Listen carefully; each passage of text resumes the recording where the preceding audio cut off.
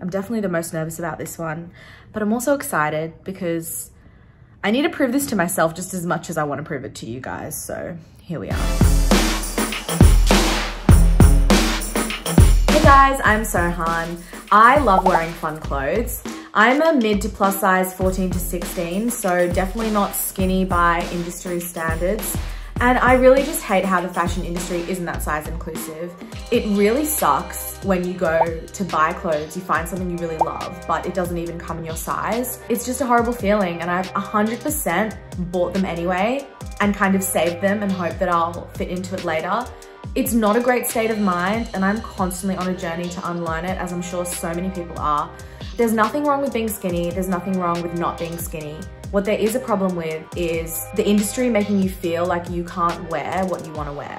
So when I saw this trending Pinterest board where people save outfit inspiration for when they're skinny, I thought, why not jump on the trend? I initially saw this on Maddie's channel and I also understand that Jaimmy Caroma started this trend. I'm gonna be going through and picking out three looks, recreating them at home to prove that you don't have to fit the skinny stereotype to wear the clothes you love. Let's get into sussing out what we can find on these Pinterest boards.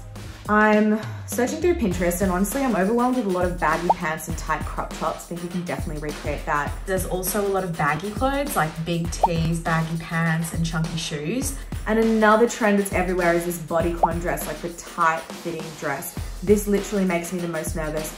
I don't really wear tight dresses, although I do actually have one in my wardrobe that I bought a few months ago and I haven't actually worn it yet. So maybe that can make its debut in this challenge. I'm gonna go put some outfits together and come back and we can talk about it. So I'm just currently getting ready and doing my makeup for look number one.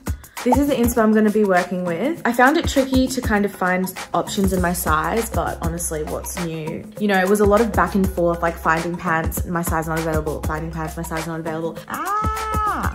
Luckily, ASOS came to the rescue with these stunning pink pants from Monki, so I'm actually matching my makeup to those pants right now. When I was looking through the trends and the photos, like the kind of main part of the outfit was accentuating like a tiny waist, which I don't have. So I'm gonna pick some cute accessories to make the outfit about something more than just a skinny body. Not that there's anything wrong with skinny bodies, I just don't have one. So let's finish this makeup look and get into it.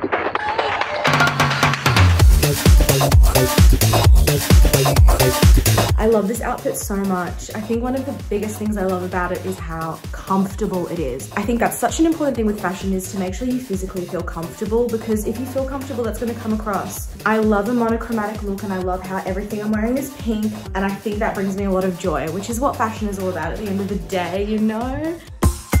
So here we are, outfit two. This one is a fun one. It's a bit of a baggy kind of look. Growing up plus size, like you're always told like not to wear baggy clothes because it looks frumpy or whatever. I feel like baggy clothes are only really celebrated when they are on stereotypically skinny bodies. So it makes sense that this would kind of be a popular trend. We should be celebrating them more on large bodies too because you know what? Baggy clothes are comfy, they're versatile, and they do look cool.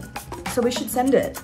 It's interesting because the clothes that I've chosen today, um, these are both from my wardrobe, but I've literally never worn them together before. So this is definitely something new for me. I don't know how it's gonna look, how it's gonna flow, but you know what? It's all about the attitude and we're gonna rock it today.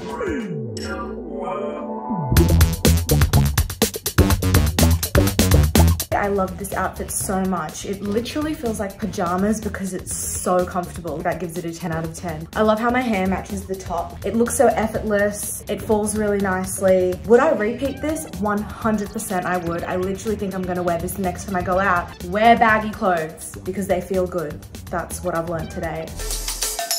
So this next outfit is definitely the one that I'm most nervous about if I'm being honest. We're getting style inspo from Queen Dua Lipa.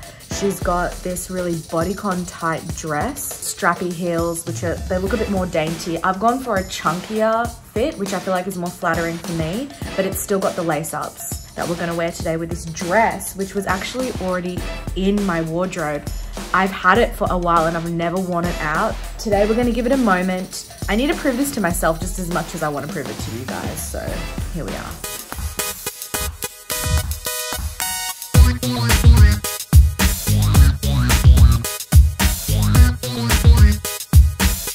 This look is so much fun. I absolutely love how it looks. It was definitely nerve-wracking wearing a bodycon dress, but I feel like you just gotta get into it and it kind of reflects on the outside. That's how I see it anyway. I literally am obsessed with the shoes, although I can hardly walk in them if I'm being completely honest. Would I repeat this outfit? Honestly, the dress, yes. The shoes, as long as I wasn't walking too much, yes. The first thing I learned during this challenge is push through to find and wear the clothes you love, even if the trends are not normally shown on bigger bodies. Even if the industry makes it hard, just do it but always stop if it's not feeling good anymore. The second thing I learned is to make the clothes work for you, you know? Add accessories, get things tailored if you need to. You don't have to fit the clothes. The clothes need to fit you. Do you know what I mean? And I hope that this video helps you see that you can still wear skinny fashion trends. You don't have to be skinny to wear them.